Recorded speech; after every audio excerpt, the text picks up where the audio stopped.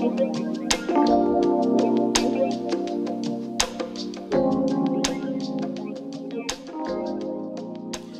name is Lindile Dube. I'm working at the African Art Center as the manager.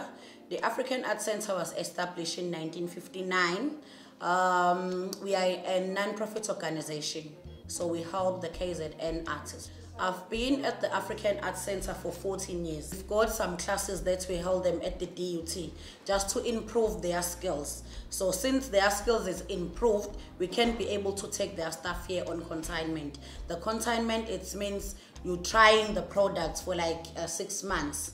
If it sell, they bring more products. If it doesn't sell, they'll take it away and bring something new the people they can donate into the center, especially on uh, beadwork, like a loose beadwork, because we use the materials for our orders and, and other things like it's, it's beadwork and the wirework. To tell the, the clients about the product, like this um, telewire candle holder, you have to tell a story about it so the person can be able to like it.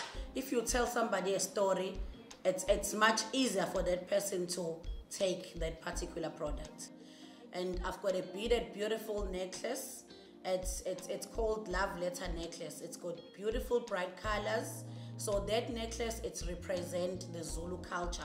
So when you, when you um, in love with somebody, you give that necklace as a symbol of love. And I like another beautiful pot. It's made by Musiswe Maisa. He's from KwaMashu. That beautiful pot, it's got uh, geometric designs on. Those geometric designs, they present the Ndebele colors.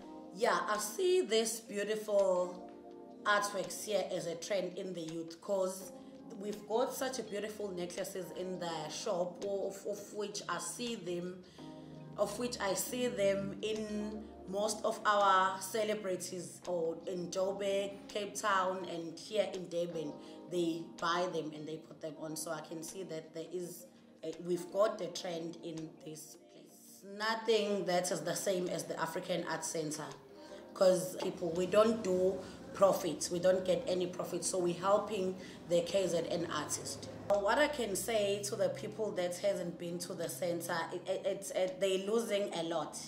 They're losing to see how other people they make this beautiful stuff at, at, at, their own hands. Because everything we have, it's all handmade. So they're losing out to see what other people are doing out there.